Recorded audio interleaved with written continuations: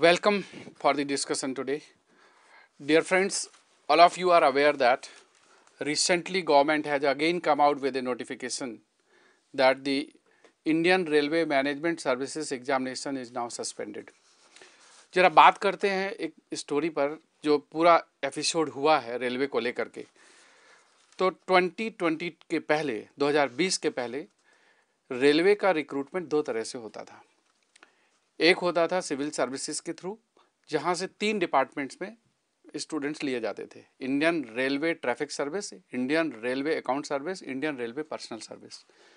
और पाँच डिपार्टमेंट्स में रेलवे में इंजीनियरिंग सर्विसेज़ से रिक्रूटमेंट होता था, जिसमें Indian railway services of engineer civil, Indian railway services of mechanical engineering, Indian railway electrical engineering, and Indian railway signal and telecom और एक स्टोर सर्विस। तो ये टोटल आठ डिपार्टमेंट में होते थे। 2020 में गवर्नमेंट ने डिसीज़न लिया कि रेलवे में डिपार्टमेंटलिज्म बहुत है।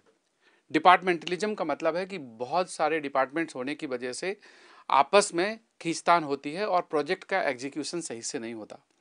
और इस वजह से इन सारे डिपार्टमेंट्स को, engineering and non engineering department को मर्ज करके एक सिंगल डिपार्टमेंट बना दिया जाए, इंडियन रेलवे मैनेजमेंट सर्विस। तो ये डिसीज़न हुआ 24 दिसंबर 2019 को, जब कैबिनेट ने ये डिसीज़न लिया कि all the departments will be merged and there will be a single department IRMS logic क्या था? डिपार्टमेंटलिज्म खत्म करना। अब 2019 में जब ये हो गया तो जो वैकेंसीज 2020 के लिए नोटिफाई हो चुकी थी, वो गवर्नमेंट ने विड्रॉ कर ली रेलवे की। इंजीनियरिंग सर्विस से भी सिविल सर्विस से भी। और उसके बाद फिर, काफ़ी दिनों बाद फिर नोटिफिकेशन आया कि इसका जो रिक्रूटमेंट है, वो नोटिफिकेशन आया लगभग छः महीने बाद कि सिविल सर्विसेज़ से होगा। तो 2020 अगस्त में ये डिसीज़न आया कि recruitment to the Indian railway management service will be done through the civil service कोई बात नहीं। और इसमें इंजीनियर्स के लिए कोई स्पेसिफिक पोस्ट नहीं थी general from the civil service तो उस समय भी इंजीनियर्स को बहुत डिसअपॉइंटमेंट हुआ। उसके बाद फिर ये सिविल सर्विसेज़ का नोटिफिकेशन आ गया 2021 का और 2022 का। तो 2022 का नोटिफिकेशन भी आ चुका था, जिसका भी प्रोसेस ऑफ़ इंटरव्यू चल रहा है। और इंजीनियरिंग सर्विसेज़ की वैकेंसीज तो रेलवे की हट गई। फिर इसी पीरियड में मिनिस्टर चेंज हो गए रेलवे के। पहले 2019 के टाइम में ऑनरेबल मिनिस्टर ऑफ़ रेलवे उस समय थे पीयूष गोयल जी और फिर उसके बाद मिनिस्ट्री में चेंज आ गया इलेक्शन के बाद और फिर आ, मतलब रेल इसके बाद तो रेलवे मिनिस्टर बन गए mister Ashwini Kumar so so, इनका बैकग्राउंड थोड़ा टेक्निकल है and there was lot of the conflict between engineering and non engineering groups in the railway.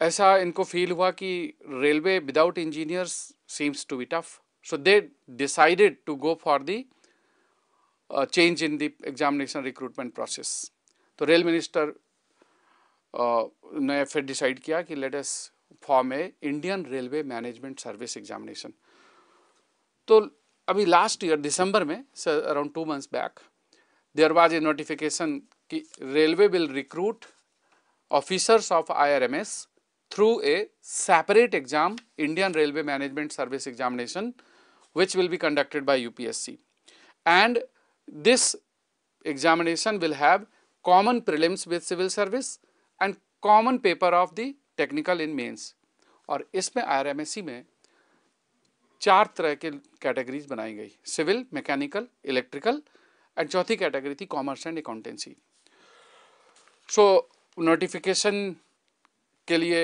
UPSC को करना था और ये गजट में नोटिफाई हो गया।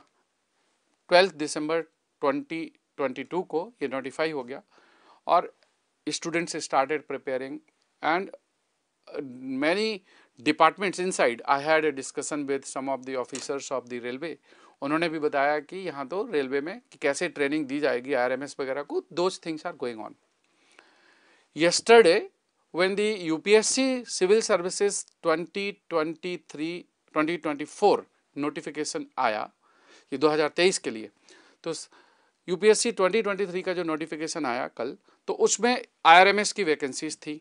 तो जब वो नोटिफिकेशन आया था, उसी समय लोगों को ऐसा लगा कि जब आईआरएमएस की वैकेंसी सिविल सर्विस में आई है, और उसमें आईआरएमएससी का कोई अलग से फॉर्म में ऑप्शन नहीं है तो इसका मतलब कि आईआरएमएससी शायद ना होगा। और लेट इवनिंग फिर एक सर्कुलर आ गया, जो गजट ऑफ़ इंडिया जो नोटिफाई हुआ कि जो 2022 दिसंबर में आईआरएमएससी फॉर्म करने के लिए गजट नोटिफिकेशन हुआ था, उसको सरकार ने कैंसिल कर दिया with implementing the power of the president तो इसका मतलब कि उसको कैंसिल कर दिया मतलब वो नल एंड वाइट कर दिया. इट मीन्स आईआरएमएससी को सस्पेंड कर दिया. उसके बाद ये लगभग क्लियर हो गया था कल की अब सिविल सर्विस से ही होगा। अब कोई रीजन रहे होंगे, इसकी हम बात करेंगे कि क्या रीजन रहे होंगे। पहले मैं आपको सीरीज़ ऑफ़ इवेंट्स बता रहा हूँ। उसके बाद फिर आज आपने देखा होगा पीआईबी में प्रेस इंफॉर्मेशन ब्यूरो जो कि गवर्नमेंट ऑफ़ इंडिया का ऑफिशियल अनाउंसमेंट पोर्टल है। तो उसमें रेलवे मिनिस्ट्री की तरफ़ से एक अनाउंसमेंट हुआ कि रेलवे मिनिस्ट्री सेज कि after consultation with UPSC and department of personnel and training DOPT it has been decided that the IRMS recruitment will be done through the civil services examination for the year 2023 अब यहाँ पर एक ही चीज़ है जो trigger कर रही है कि इनको 2023 की लिखने की ज़रूरत क्या थी? कि फॉर द ईयर 2023 जब आप पहले आईआरएमएससी का नोटिफिकेशन कैंसिल कर चुके हैं तो it means it is understood कि it will be for 23 and upcoming years तो अभी एक तो ये क्लियर नहीं हो पा रहा है इस लैंग्वेज से कि इट इज़ फॉर द 2023 और it will be implemented after 2023 also जिस तरह से अभी यू टर्न लिया है वापस, उसके क्या कारण रहे होंगे? तो दोस्तों, आप जानते हैं कि सिविल सर्विसेज़ में स्पेशली रेलवे में, जो सिविल सर्विसेज़ से ऑफिसर्स आते हैं, वो हर बैकग्राउंड के लोग आते थे। I R T S I R P S I R A S और अच्छी खासी वैकेंसीज आती थी। लगभग 150 के आसपास आती थी 2020 के पहले इनके लिए। और इंजीनियर्स के लिए भी लगभग 200 टू 250 वैकेंसीज आती थी। तो जो रेलवे में जॉब है, उस जॉब का जो प्रोफ़ाइल है, जो नॉन टेक्निकल जॉब है, उसमें खाली अकाउंट्स और कॉमर्स वालों का आना कई लोगों को उस समय भी लग रहा था कि हाउ इट इज़ जस्टिफाइड कि उसमें दूसरे लोग नहीं आए और सिर्फ़ कॉमर्स और अकाउंट्स वालों की ज़रूरत है रेलवे में। दूसरा, जब टेक्निकल की सर्विस आई, उसमें इलेक्ट्रॉनिक्स का डिपार्टमेंट नहीं था, सिविल मैकेनिकल और इलेक्ट्रिकल के थे। तो वहाँ पर भी लोगों का ये मानना था कि what about the telecom sector railway में तो बहुत सारा सिग्नल्स का काम है और उसमें आपने टेलीकॉम की फोर्स नहीं रखी है। तो दोनों में कुछ ना कुछ खामियाँ थी। एक तो जो नॉन टेक की पोस्ट थी, वो that was restricted to only commerce and accountancy, और दूसरा जो टेक्निकल पोस्ट थी, उसमें इलेक्ट्रॉनिक्स वालों को इग्नोर किया गया था। तो दोनों के रिक्रूटमेंट में कुछ ना कुछ खामियाँ थी। डिपार्टमेंटलिज्म बहुत पहले से चला आ रहा है रेलवे में, और आपस की जो इंटरनल टसल है, वो तो रहती है। और स्पेशली एक सिविल सर्विस से आ रहे हैं, एक इंजीनियरिंग सर्विस से आ रहे हैं, फिर वो जो ऑफिसर्स ऊपर जाते हैं, फिर एक लेवल पर आकर के वो मर्जर हो जाता है, फिर कोई भी हेड कर सकता है। तो इस तरह का जो कॉन्फ्लिक्ट है, वो चला आ रहा है। तो मेरा ऐसा मानना, ये मेरा व्यू है आई मे बी रॉन्ग और I may be not fully correct मेरा मानना है कि डिपार्टमेंटलिज्म जो है, वो आज भी रिफ्लेक्ट हो रही है रेलवे में और उसी कॉन्फ्लिक्ट की वजह से रेलवे का एक धड़ा, जो इंजीनियरिंग के कैंडिडेट्स को ज़्यादा जाना जिनको अच्छा नहीं लग रहा था दे माइट हैव अपोज्ड या फिर जो नॉन टेक के दूसरे स्ट्रीम के बैकग्राउंड के स्टूडेंट्स नहीं जा पा रहे हैं may be from law science और ह्यूमैनिटी बैकग्राउंड वो क्यों नहीं जा रहे हैं, उसके लिए क्या कारण है? तो जो डिसीज़न सरकार ने दो महीने पहले लिया था, शायद वो पूरी तरह से ब्रेन स्टॉर्मिंग करके, अच्छे तरीके से डिस्कशन करके कंसेंसस ड्रॉ करके शायद नहीं लिया था।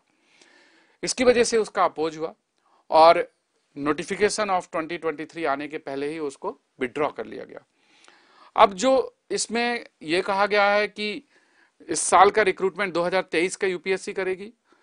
तो अभी, मेरा अभी भी ये सोचना है कि there is something which the government is planning to change और मॉडिफाई इन फ्यूचर और मैं ये दावे के साथ तो नहीं कह सकता, लेकिन ये मैं अपने एक्सपीरियंस से और अपने एंटिसिपेशन से कह रहा हूँ कि हो सकता है कि अभी कुछ चेंजेस आने वाले टाइम में आए और आप लोग देखें। इस आईआरएमएस के रिक्रूटमेंट का जो प्रोसेस है, हो सकता है फ्यूचर में फिर से चेंज हो। अभी जो दिसंबर वाला नोटिफिकेशन था, वो इसलिए विड्रॉ हुआ क्योंकि उसमें कुछ खामियाँ थी। और खामियाँ आपको मैंने बताई कि टेक्निकल में इलेक्ट्रॉनिक्स छूटा हुआ है नॉन टेक्निकल में बाकी सारे छूटे हुए हैं। तो रेलवे विदाउट इंजीनियर्स ये भी जरा अटपटा सा लगता है क्योंकि रेलवे जो टेक्निकल डिपार्टमेंट आप बुलेट ट्रेन बनाने जा रहे हो फास्ट स्पीड ट्रेन कर रहे हो रेलवे का अपग्रेडेशन कर रहे हो। और पार्लियामेंट में ही रेल मंत्री का एक अगर आप स्पीच सुने तो उन्होंने कहा कि आप अपने देश के इंजीनियर्स पे भरोसा करिए। मतलब बाकी सांसदों को कह रहे हैं। तो देश को, देश के इंजीनियर्स पर तो भरोसा करना पड़ेगा। तो रेलवे में इंजीनियर्स का काम है देर इज़ नो डाउट अब वो कैसे फुलफिल होगा? Railway has to take a call उनको अगर अभी लगा था तीन महीने पहले, दो महीने पहले कि इंजीनियर्स को लाना ज़रूरी है तो अब सडनली पंद्रह दिन में ऐसा क्या हो गया कि फिर से यू टर्न ले लिया? और क्या अभी कुछ चेंज हो गया? या आप रेलवे को प्राइवेटाइज करने का सोच रहे हो या ऐसा कुछ चल रहा है तो नो बडी नोज़ की what is going to happen लेकिन दोस्तों, आप पूरे वर्ल्ड में अगर आप देखें तो रेलवे जैसे जो बड़े बड़े डिपार्टमेंट हैं, वहाँ पर प्राइवेटाइज करना एक नेक्स्ट टू इम्पॉसिबल वाली स्टोरी है। तो मुझे ऐसा लगता है दिस इज़ माई व्यू कि जो अभी सस्पेंशन हुआ है it was because of the this decision was not properly thoughtful decision और इसको जल्दबाजी में लिया गया था। सही तरीके से कंसेंसस नहीं ड्रॉ किया गया। Among the non engineering and engineering lobbies और उनके कॉन्फ्लिक्ट को रिजॉल्व नहीं किया गया और डिसीज़न को इम्प्लीमेंट कर दिया गया। बाद में ये और बढ़ा होगा discussion and letter on PMO might have intervened और may be at higher level फिर उस पर डिसीज़न को वापस लेने का डिसीज़न लिया गया होगा। तो ये एक रीजन हो सकता है जो मैं सोच पा रहा हूँ। देखो तो मेरा तो हमेशा से सोचना रहा है कि रेलवे जैसे डिपार्टमेंट्स ना तो ये सिर्फ़ इंजीनियर से चलेंगे और ना ये विदाउट इंजीनियर चलेंगे। तो इसमें दोनों तरह के लोगों का आना ज़रूरी है। इसलिए आईआरएमएस को दो पार्ट में डिवाइड करना चाहिए। IRMS technical and IRMS administration या फिर नॉन टेक्निकल तो आईआरएमएस में टेक्निकल में आप सिविल मैकेनिकल इलेक्ट्रिकल इलेक्ट्रॉनिक्स का जो रिक्रूटमेंट था, वो ले लीजिए। और आईआरएमएस के जो नॉन टेक है, जैसे आप अकाउंट्स या पर्सनल या फिर आईडीआरटीएस के लेते थे, वैसे आप ले लीजिए। आप सिलेक्शन आपको कैसे करना है जैसे योर चॉइस आप अलग से एग्ज़ाम में लेना चाहते हो, अलग से ले लो। आप आधे सिविल सर्विस से, आधे इंजीनियरिंग सर्विस से लेना चाहते हैं, या किसी एक सर्विस से लेना चाहते हैं, इधर से या उधर से। That is the choice of railway but मेरा ऐसा सोचना है कि रेलवे को ज़रूरत है दोनों तरह के ऑफिसर्स की and that is what is required अब बहुत सारे स्टूडेंट्स इस बात से दुखी हैं कि अब क्या करें। अब तो आईआरएमएस एक होप बना था इंजीनियर्स के लिए और वो होप फिर से टूट गया। तो दोस्तों, ये तो बात सत्य है कि engineers are disappointed there is no doubt in that लेकिन ये एंड नहीं है। आप इंजीनियरिंग सर्विसेज़ में आज आज भी इतनी सारी वैकेंसीज हैं और इतने डिपार्टमेंट हैं but railway was the best department railway तो सभी लोग करते थे। गवर्नमेंट की स्टेट गवर्नमेंट की बहुत सारी पोस्ट आ रही है। गवर्नमेंट में भी इतने सारे स्टूडेंट्स जा रहे हैं। पब्लिक सेक्टर्स में भी आते हैं तो होप तो है। लेकिन अगर आप बहुत अच्छा करना चाहते हैं तो सिविल सर्विसेज़ के लिए जा सकते हैं। और सिविल सर्विसेज़ में नंबर ऑफ़ वैकेंसीज बढ़ी हैं। इस बार आप देखोगे तो 1105 वैकेंसीज हैं। लास्ट ईयर 1015 थी। उसके पहले 685 थी। तो number of vacancies over the last three years बढ़ी है। और उसमें आईआरएमएस की वैकेंसीज का भी रोल है, क्योंकि आईआरएमएस की वैकेंसीज सिविल सर्विसेज़ में लगभग 150 160 ऐड हो गई। तो वो वो वैकेंसीज का फ़र्क आया है। तो दोस्तों, मेरा जो सोचना है कि this is not the end आपको आगे कंटिन्यू करना चाहिए। और अभी वेट एंड वॉच वाली सिचुएशन रहेगी, मैं आपके साथ फिर अपडेट लेकर के आऊँगा। गेट का एग्ज़ाम आपका नज़दीक है। The GATE exam is left just two days और थ्री डेज़ फिर उसके बाद आपका नेक्स्ट आई का एग्ज़ाम है। सिविल वालों का next after one week GATE का एग्ज़ाम है। तो दोस्तों, अभी फोकस करिए आप अपने गेट के एग्ज़ाम पर। और GATE is all about accuracy अगर आप अपनी एक्यूरेसी को मेंटेन कर ले जाएँगे, गलतियाँ नहीं करेंगे छोटे छोटे एरर नहीं करेंगे या ब्लंडर नहीं करेंगे तो परफॉर्मेंस बहुत अच्छी होगी। दूसरा एक चीज़ और ध्यान रखिए कि गेट एग्ज़ाम में एक्यूरेसी ज़्यादा इंपॉर्टेंट है। आप स्पीड के चक्कर में गलत मत कर जाना, क्योंकि वहाँ एक एक नंबर मैटर करता है। इंजीनियरिंग सर्विसेज़ 2023 का जो प्रीलिम्स होगा, और वो प्रीलिम्स फेब्रुवरी में शेड्यूल्ड है नाइनटीन या ट्वेंटी फेब्रुवरी को, उसको आप अच्छे से लिखिए। डोंट बॉदर कि अभी आपकी प्रिपरेशन कितनी है या कम है या ज़्यादा है, क्योंकि इस स्टेज में सारे स्टूडेंट लगभग एक ही लेवल पर होते हैं। और स्टूडेंट्स की प्रिपरेशन से ज़्यादा इंपॉर्टेंट होता है एग्जामिनेशन मैनेजमेंट अगर आप एग्ज़ाम का मैनेजमेंट अच्छा करेंगे जीएस का जो पेपर है प्रिलिम्स का पेपर वन उस पेपर के लिए मैं एक सेशन करूँगा गेट के एग्ज़ाम के बाद और उसमें बताऊँगा आपको कि अटेम्प्ट कैसे करना है। और उस अटेम्प्ट में आप, कैसे तीन, दो घंटे में आप कुछ सवाल जो आपको कंफ्यूजन है या जहाँ पर आपको चांस लेना है तो कैसे चांस लिया जा सकता है? वो खास करके जीएस वाले पेपर के लिए। तो टेक्निकल पर पूरा अभी एफर्ट करिए और करते जाइए। कुछ क्वेश्चन लेते हैं। बहुत सारे स्टूडेंट्स के सवाल आ रहे हैं। रक्तिम शर्मा कह रहे हैं sir if you can please provide CSE main solution for 2022 and 2021 देखिए सिविल सर्विसेज़ के मेंस के सॉल्यूशंस तो ऑलरेडी अवेलेबल हैं। और ये सॉल्व पेपर अवेलेबल हैं। जो जो जिसके नहीं है 2022 के जो ऐड नहीं थे तो वो एडिशन हो रहा है। 2021 के ऑलरेडी एडेड है। और कौशल किशोर सर, जेपीएससी और बीपीएससी का एई e का भी एग्ज़ाम कैंसिल हो गया है। देखिए, बहुत सारे रीजंस होते हैं। कई बार हम नहीं समझ पाते। कभी पेपर के लीक करने की प्रॉब्लम है, कभी डिपार्टमेंट के कोई ऐसे नॉर्म्स चेंज हो जाते हैं या कभी कोर्ट की लिटिगेशन पेंडिंग होती हैं। तो ये प्रोसेस है। अब इसके लिए तो वेट एंड वॉच ही सिचुएशन है। देखिए, आप आस्पिरेंट्स हैं और आस्पिरेंट्स हैं तो आपके पास एक ही ऑप्शन है कि wait for the right opportunity but एक चीज़ दोस्तों, ध्यान रखिए।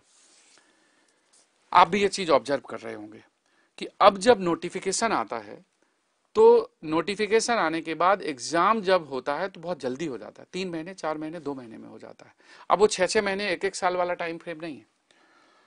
इसका मतलब यह है कि वो स्टूडेंट ज़्यादा बेनिफिट में रहते हैं या उनको ज़्यादा बेनिफिट मिलता है, जो ऑलरेडी प्रिपरेशन कर चुके हैं। इसलिए प्रिपरेशन आप कंप्लीट कर लीजिए। आप सेल्फ स्टडी कर रहे हैं, कर लीजिए। आप कोचिंग कर रहे हैं, कर लीजिए। लेकिन प्रिपरेशन आपकी कंप्लीट होनी चाहिए। जैसे ही नोटिफिकेशन आए, फिर आप लग जाइए उसके रिवीजन में प्रैक्टिस में और एक्यूरेसी इंप्रूव करने में। टेस्ट का बहुत बड़ा रोल होता है, इसलिए प्रैक्टिस करना मत भूलिए। इसलिए प्रिपरेशन करके रखिए। जब भी अपॉर्चुनिटी मिले, आपको उसका एडवांटेज मिलेगा। प्रिपरेशन जब भी आप करते हैं तो कभी भी आपको वो वेस्ट नहीं जाती।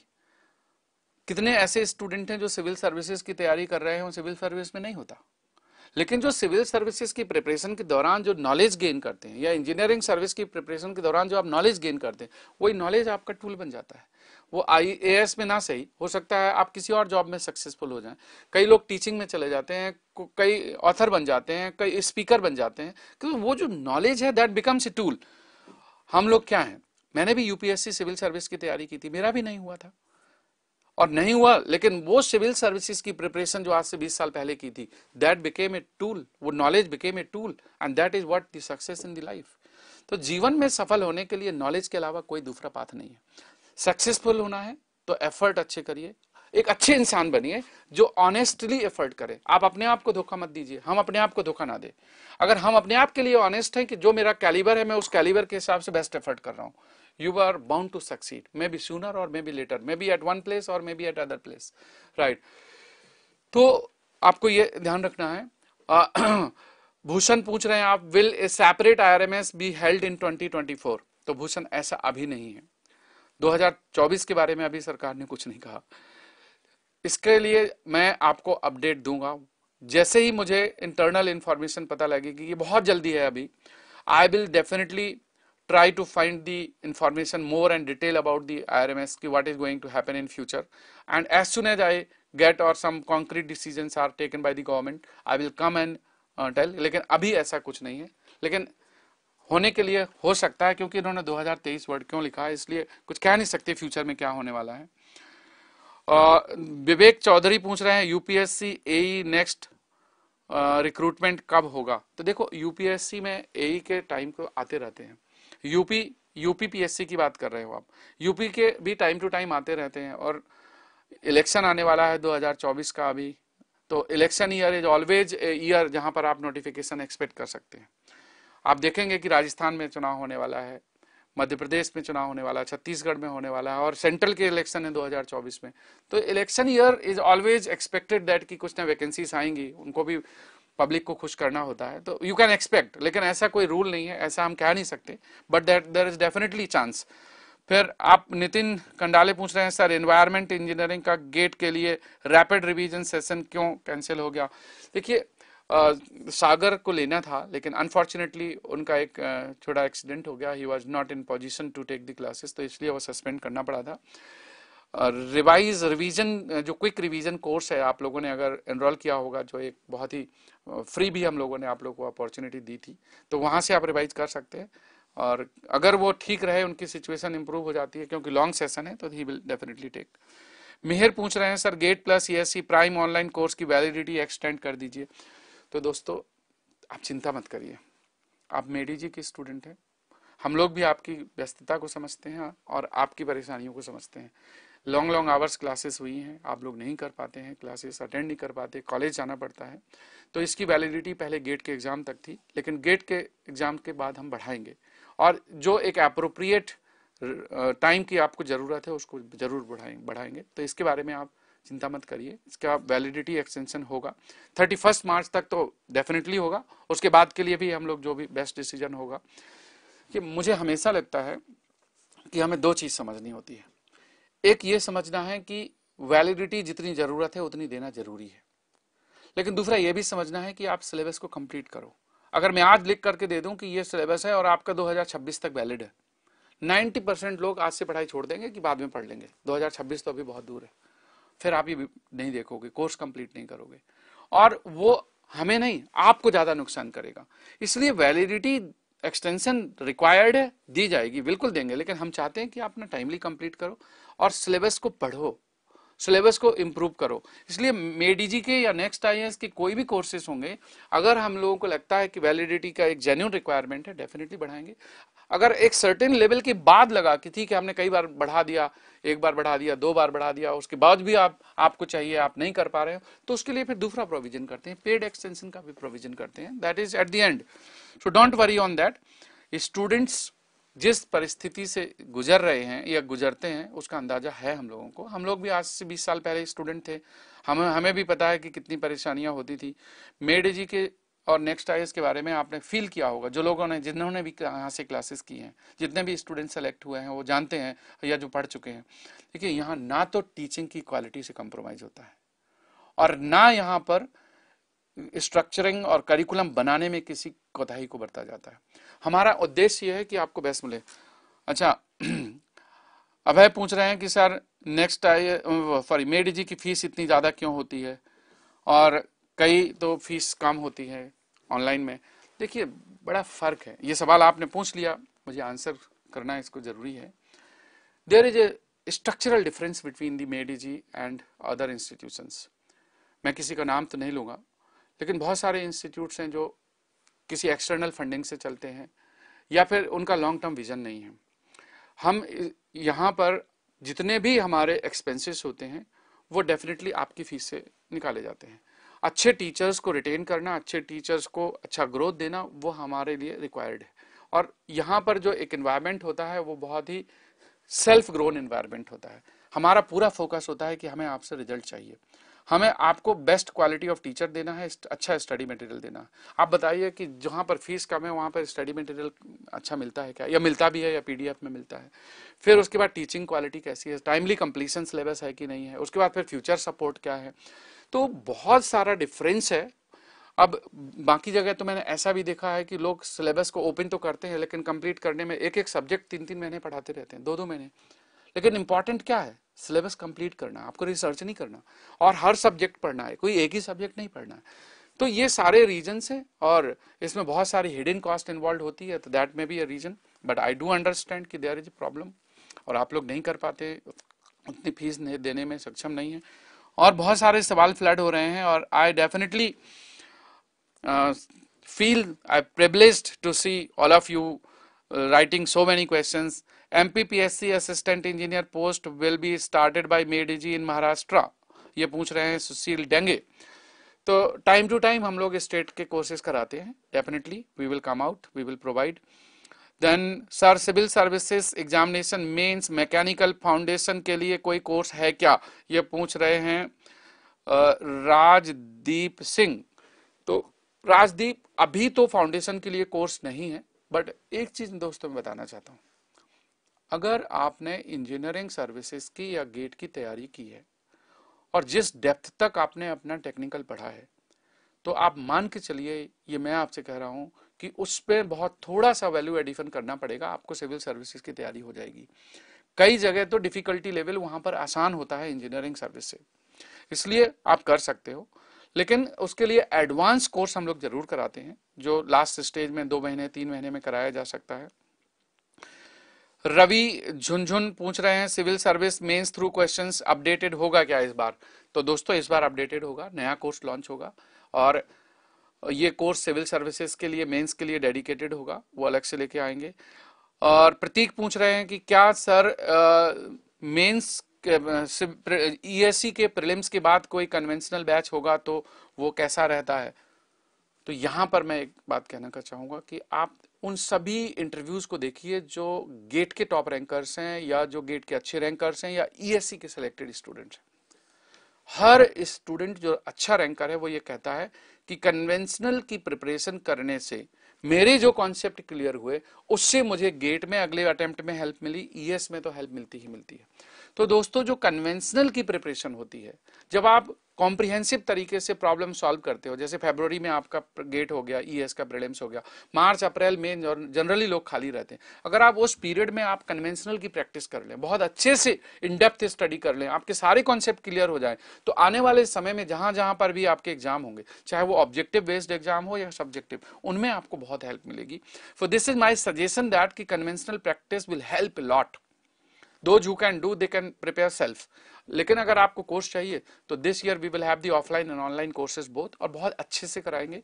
और मार्च के फ़र्स्ट वीक में या फिर फेबर एंड में स्टार्ट करेंगे and we will definitely provide Hussain we अच्छा नेक्स्ट स्टेज यशस्वी पूछ रहे हैं any change in R R B JE and R R B SSC तो देखिए, अभी तो आरआरबी में कोई चेंज नहीं होगा। तो आईआरएमएस एक सेपरेट है। आरआरबी जेई और एसएससी जेई एक अलग एग्ज़ाम है, जिसका आईआरएमएस से कोई लेना देना नहीं है। And this year you can expect more vacancies in SSC also आने वाले टाइम में। इंजीनियरिंग सर्विसेज़ में भी अब वैकेंसीज बढ़ेंगी। उसका मैं रीजन इसलिए बता रहा हूँ कि अब आप पैटर्न देखिए। सिविल सर्विसेज़ में भी वैकेंसी बढ़ रही है। एस एस सी जेई में भी वैकेंसीज बढ़ रही हैं। और बहुत सारे जो पेंडिंग डिपार्टमेंट है गवर्नमेंट ऑफ़ इंडिया में बहुत सारे जो वैकेंसीज पेंडिंग है, वो एक बार अभी जो मंत्री जी ने जो उसमें पार्लियामेंट में जब ये कहा था कि कितनी कितनी वैकेंसीज किस किस डिपार्टमेंट में खाली हैं, उन सबको अगर हम ध्यान में रखें तो वैकेंसीज बढ़नी चाहिए। एंड संजीव आदित्य पूछ रहे हैं any syllabus difference in ESC and civil service mains branch to branch हम इसको अलग से देख सकते हैं। किसी किसी ब्रांच में डिफरेंस है, किसी में नहीं है। अब जैसे इलेक्ट्रॉनिक्स है।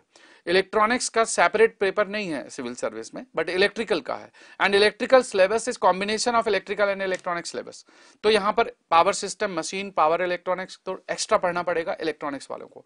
इसी तरह इलेक्ट्रिकल वालों को कुछ टॉपिक पढ़ना पड़ेंगे इलेक्ट्रॉनिक्स के। मैकेनिकल में there is nothing much extra in fact कुछ कमी है। या थोड़ा बहुत जो इंडस्ट्रियल इंजीनियरिंग में थोड़ा, है डिफरेंस और आईसी इंजन में थोड़ा डिफरेंस है। बाकी सिविल में तो मोरलेस सिमिलर ही है। इंजीनियरिंग मैकेनिक्स थोड़ा एक डिटेल में पढ़ना पड़ता है। बाकी सारे टॉपिक सेम है। So this can be seen branch to branch Gaurav Moona, Gaurav Meena पूछ रहे हैं offline and online which is the best Gaurav, देखो ऑफलाइन एंड ऑनलाइन दोनों एक तरह से अच्छे हैं। डिपेंड करता है कि आप अगर घर पे रह करके स्टडी इन्वायरमेंट क्रिएट कर सकते हैं। तो ठीक है ऑनलाइन में आप पढ़ाई कर सकते हैं। लेकिन अगर घर में आपका स्टडी इन्वायरमेंट नहीं बन सकता तो आपके लिए ऑफलाइन बेटर है। और मेरा एक सोचना यह है कि जो फ्रेशर स्टूडेंट हैं, जिनको पढ़ाई के बारे में बहुत ज़्यादा नहीं पता एग्ज़ाम इन्वायरमेंट घर में क्रिएट नहीं कर पाते, उनके लिए शायद ऑफलाइन ज़्यादा बेटर है। और जो रिपीटर हैं, जिनको ये लगता है कि मुझे इंप्रूव करना है तो एक सब्जेक्ट दो सब्जेक्ट में वीकनेस है तो वो ऑनलाइन से कर सकते हैं। तो मैं अगर स्टूडेंट रहूँगा और पहली बार मुझे तैयारी करनी है तो मैं प्रेफर करूँगा कि ऑफलाइन में जाऊँ, जहाँ पे दूसरे दोस्त हो, मैं देखूँ कि मेरी स्पीड क्या है, उनकी स्पीड क्या है, मैं कैसे नोट बनाता हूँ, वो कैसे बनाते हैं बुक शॉप में क्या क्या नया मिल रहा है, क्लास में क्या टीचर से बाद में पूछ सकते हैं तो ये मेरी सोच है। बट ऑल डिपेंड्स कि अगर आपके पास घर में स्टडी करने के लिए एनवायरनमेंट अच्छा है और आप मेंटेन कर सकते हैं सेल्फ डिसिप्लिन है तो घर से भी पढ़ सकते हैं। Both the courses are equally good Noor Alam पूछ रहे हैं इन्वायरमेंटल इंजीनियरिंग का मैराथन क्लास ये तो मैंने ऑलरेडी बता दिया। Karishma, Karishma Khannam for what about the IRMS course now देखिए आईआरएमएस के जो स्टूडेंट नेक्स्ट आई में एनरोल्ड हैं। मैंने उनका आज सेशन किया था and we have given the three four options कि वो इस कोर्स को कंटिन्यू कर सकते हैं। या फिर इस कोर्स को सिविल सर्विसेज़ के कोर्स में कन्वर्ट कर सकते हैं, या जिसका डिसीज़न है कि वो नहीं करना चाहते तो हम रिफंड कर देंगे। और हमें उसमें कोई प्रॉब्लम नहीं है। देखिए स्टूडेंट की प्रॉब्लम तो हमारी प्रॉब्लम है। अगर ये डिसीज़न बीच में आया, ना इसके लिए स्टूडेंट दोषी है, ना इंस्टीट्यूट दोषी है। ना इंस्टीट्यूट को पता था, ना स्टूडेंट्स को पता था। तो डेफिनेटली इसमें आपकी भी परिस्थिति इन्वॉल्व है, हमारी भी है। बट नेक्स्ट आईएएस हो या मे डी हो आई एम वेरी श्योर कि स्टूडेंट का कोई नुकसान नहीं होगा। We are giving you the three four option आप इसी कोर्स को कंटिन्यू करना चाहते हैं, करिए। आपका प्रीलिम्स का पूरा कोर्स होगा। आप इसको कन्वर्ट करना चाहते हैं प्री प्लस मेंस में प्री प्लस मेंस में कन्वर्ट कर लीजिए। आप इसको ट्रांसफ़र कराना चाहते हैं कि आप ऑनलाइन से ऑफलाइन चले जाएँ क्लासरूम में आप वहाँ चले जाइए, वहाँ पर आपकी फ़ीस एडजस्ट हो जाएगी। आप चाहते हैं कि रिफंड कराना है तो आपका जो नॉर्म्स है, हम रिफंड कर देंगे। जो आप बुक्स वगैरह आप ले चुके हैं, उनको अकाउंट करके, बाकी चीज़ों को कंसिडर करके जो है, हम आपका रिफंड कर देंगे। तो this should not be a problem and if you have trusted next I S और मेरी जी trustfully we will support you life में देखिए, बहुत सारे ऐसे पड़ाव आएँगे जीवन में, जब आपको ना रैंडम डिसीज़न लेने पड़ेंगे, क्योंकि आज कुछ होना था, हो कुछ और गया। इसलिए इसके लिए तैयार रहिए। और जीवन में इस तरह की प्रॉब्लम आना स्वाभाविक है, और इनको टैकल करना हमारा और आपका उत्तरदायित्व है। So we have to learn दो स्किल्स दोस्तों लास्ट में एक बार फिर कहूँगा, ज़्यादा समय नहीं लूँगा कि अब समय आ गया है एग्ज़ाम को परफॉर्म करने का। गेट का एग्ज़ाम आपके सर पर है ई का है। और अपने आप को किसी से कम मत समझिए। लास्ट मोमेंट में सभी ये सोचते हैं, मेरी तैयारी अच्छी नहीं है। तैयारी हर किसी की अच्छी होती है, बस एग्ज़ाम में दो घंटे की या तीन घंटे का एरर फ्री परफॉर्म करने की होती है। बस एरर फ्री परफॉर्म कराइए, गलतियाँ नहीं करिए अटेम्प्ट अच्छे से करिए, एग्ज़ाम का मैनेजमेंट अच्छा हो और हंड्रेड परसेंट दे दीजिए, हो जाएगा। एग्ज़ाम देने के बाद जब आपका लगे कि पेपर खराब चला गया, आपके मार्क्स कम आ रहे हैं या फिर दिक्कत है तो फिर उसके लिए फिर आप ना अपने प्रॉब्लम्स को आइडेंटिफाई करिए, अपनी वीकनेसेस को इम्प्रूव करिए और स्टेप अप करिए। तो प्रॉब्लम तो आती है। अभी स्टार्ट किया है, अभी तो बड़ी लंबी रेस तय करना है। जीवन में सफल होने के लिए, मेहनत करने के अलावा एफर्ट करने के अलावा और कोई दूसरा शॉर्टकट मेथड नहीं होता। अच्छे इंसान बनिए अच्छा एफर्ट करिए ऑनेस्ट रहिए ट्रस्ट करिए। आप जहाँ भी पढ़ रहे हैं, जिस इंस्टीट्यूट में भी पढ़ रहे हैं, आप उन पर ट्रस्ट करिए डोंट वरी और उसको फॉलो करिए। तो दोस्तों this was the update GATE के एग्ज़ाम का हम लोग लाइव सॉल्यूशन करेंगे। आईईएस के एग्ज़ाम का भी हम एग्ज़ाम के तुरंत बाद लाइव सॉल्यूशन करेंगे। आप देखिए, अपने एग्ज़ाम देखिए। उसके बाद अगर आपको लगता है कि आपको कोई भी सपोर्ट चाहिए नेक्स्ट आई एस या मेडी से you come we will definitely help you और बहुत मन से करेंगे, अच्छे से करेंगे आपको। आपको सपोर्ट करेंगे हेल्प करेंगे। देखो, हमारी भी कुछ मजबूरियाँ हैं कि हमें बिना फ़ीस लिए हम लोग नहीं पढ़ा पाते। क्योंकि हमें सारे रिसोर्सेज मीट करना है, हमें अपने स्टाफ की सैलरी देना टीचर्स को भी पेमेंट करना अच्छे टीचर्स को रखना है, अच्छे टीचर्स को लेकर के आना you might have seen कि all the teachers, the best teachers of civil services field are in next IS, best teachers of engineering services field are in MEDG. तो मेरा तो एम ही यही है। और जो स्टूडेंट यहाँ पर देख रहे हैं अगर आपको नहीं पता तो recently we have come out with the vacancies 110 vacancies मेडीजी में और नेक्स्ट आई में अवेलेबल है जिसका नोटिफिकेशन अभी हम लोगों ने किया है। आप नेक्स्ट आई के वेबसाइट में कैरियर वाले सेक्शन में जाकर के अप्लाई कर सकते हैं। मेडीजी की वेबसाइट में कैरियर वाले सेक्शन में जाकर के कर सकते हैं। तो दोनों में वैकेंसीज है। मेडीजी में भी नेक्स्ट आईएएस में भी। कुछ टेक्निकल पोस्ट के लिए है कुछ एडमिनिस्ट्रेशन पोस्ट के लिए है कुछ मैनेजमेंट पोस्ट के लिए है कुछ टीचिंग के लिए भी है उसमें किसी किसी सेक्शंस में है तो आप कर सकते हैं। और आप अगर यहाँ के स्टूडेंट रह चुके हैं मेडी जी के या नेक्स्ट आईएएस के तो, तो आपका तो हमारा एक अलग रिलेशन है। We will definitely consider on priority but it will be definitely based on merit but definitely will be priority so thank you very much all the best stay safe stay home and crack your examination GATE को अच्छे से करके आइए ई e को अच्छे से करके आइए। जय हिंद।